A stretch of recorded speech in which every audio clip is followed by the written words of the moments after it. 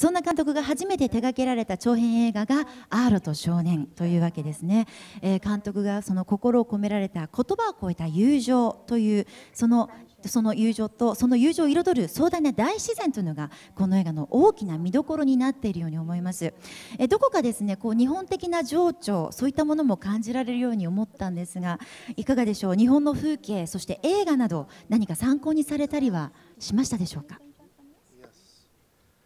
Yes, um, uh, my father was born in Japan, and um, that we had a lot of that type of influence growing up, but mainly the movies that I grew up on was um, the Ghibli uh, movies, Miyazaki-san and um, um, Kurosawa-san, Ozu. There was always a, a, respect for nature that was um, very impactful for me. Uh, uh, uh, the poetry, even in the culture and the architecture and everything, is something that we talked about early on in the movie, making this Good Dinosaur film was can we make nature a character in this film and respect it in a way where it's beautiful and mysterious and magical and dangerous all at the same time. And, uh, uh, you know, um, we made a very simple story so that we could open up those aspects of the film that we could kind of slow down and stop for these moments. In, we call them haiku shots in the film when we were making them. A shot that Arlo would notice where it would move him and start his growth. And so, absolutely, um, the aesthetics of Japan uh, uh, was definitely an influence on the film. あの答えはイエスあの大きく影響を受けています、まあ、父がまあ日本生まれだったということもありまして、まあ、あの日本の影響というのは常にありましたけれども特に映画で言いますと個人的にはやっぱりジブリの作品宮崎駿監督黒澤明、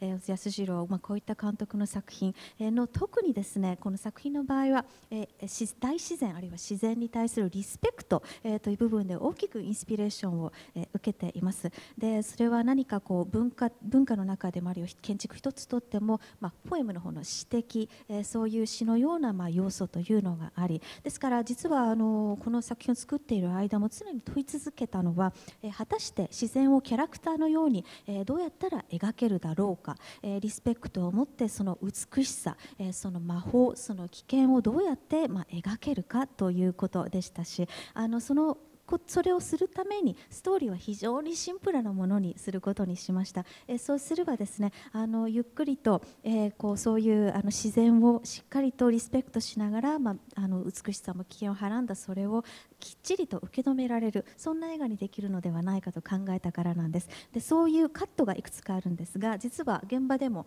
俳句ショット、俳句カットですねというふうに、えー、はあの日本の俳句ですね、えー、というふうにもあの読んでいました。そういうシーンではパーロは例えば自然に何かがすごく響いたり感動してであのですからこの作品自体のその美的センスというのは間違いなくそしておっしゃった視線ですね間違いなく日本のそういう美的センス感覚から影響を受けております。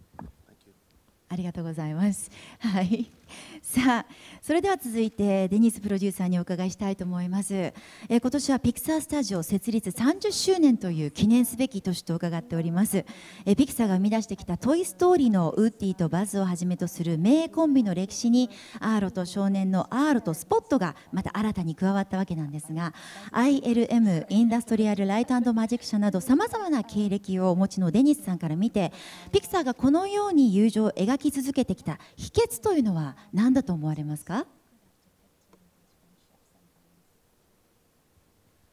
Um, well, coincidentally, uh, today is actually in Emeryville is Pixar's is the official 30th anniversary, which is uh, is pretty amazing. Um, uh, I think that for, uh, Pete sort of referenced this earlier, but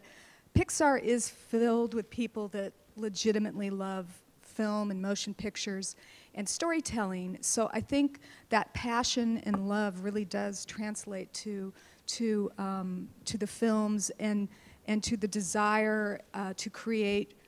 authentic emotion um, and and deep connection through our characters. Um, when we were making this film together, Pete and I always. When, when we would be watching the film and different scenes, it was important us to, for us to feel something that, was, that felt truthful. And um, uh, I think that is a guiding principle um, uh, for our colleagues back at Pixar. Um, the pursuit of, of, of doing our very best is something that's very important to, to all of us. Um, you know, we are fortunate enough that we work for executives that are also filmmakers and are lovers of, of, of motion pictures and films. So I think that, that are, those are some con- contributing factors to, um, you know, the company's success. Um, and we feel very fortunate to, to work there. あの実はですね今日あのアメリカのあの米時間でなんですけどまさしく今日、えーピクサーの30周年設立30周年記念日なんですね。なので、まあ、そういう日にねここにいられることとても嬉しく思うんですけれども、まあ、あのその秘訣というのはですねやはりそのピーターもさっき言ったようにですねピクサーもピーターも含めてピクサーで働いているアーティストたちフィルメーカーたちのすべてが本当に映画を愛していてもう映画に対する愛と情熱というのに溢れている。それがゆえにそれをそういった情熱とか愛を思思いっきり作品に注ぎ込んでですねもう一つ一つのシーンに真実味があって説得力があるようにというのをねモットーとして心がけているんですね。でそうしたやっぱり本物の感情本物の絆というのが一つ一つのシーンにしっかり刻まれていると、まあ、そこがまずはねあの秘訣なのではないかなと思います。そしてあとはやはりその仕事に対する姿勢一人一人のアーティストが常に全力を尽くすベストを尽くして最高のものを作り上げていこうと、まあ、そういった姿勢もねつながっているのではないかなと思います。まあ、とてもとても素晴らしい日に今日は記者会見を行われているということですね。ありがとうございます。はい。さあ。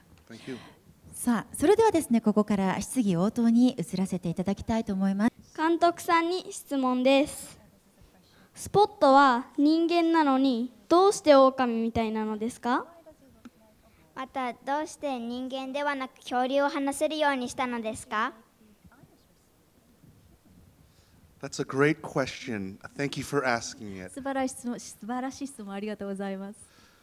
We wanted to create Spot, a character that had lived in the wild, the wild. And he, he understands nature and he's lived out there his whole life. And so all he knows is how to survive out there. So we thought what would be better, best is to make him like that, that he could sniff the ground, he could taste everything, and that he was alive out there. That was his home. and uh, uh, for Arlo, we thought it was interesting that, like, if we flipped it, that Arlo was kind of like us. The dinosaur was like a human uh, uh, uh, uh, talking and discovering out there. But this human doesn't know that how scary it is out there. But what was fun was that little boy, when he becomes friends with him, teaches Arlo how to survive out there and learn how to be brave.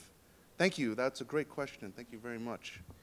あのまずですねこのスポットなんですけれどももともと自然の中で生まれ育った、まあ、キャラクターにしたかったんですね。だからこそ野生自然を心底、まあ、理解しているしその中でもう生まれてからずっと生きてきてサバイブしてきた、えーキャラクターなわけです。であのだからこそあの自然の中にいるのがスポットにとってはもうそれがふるさとだし、まあ、自然なことだからすごく生き生きと、えーしています。で今回逆転させたのはそれが面白いんじゃないかなと思ったからなんですね。であの確かに、えアーロは恐竜なんだけれども人間みたいに言葉も話すしなんかこうねあのやってることも人間みたい、えなんだけれども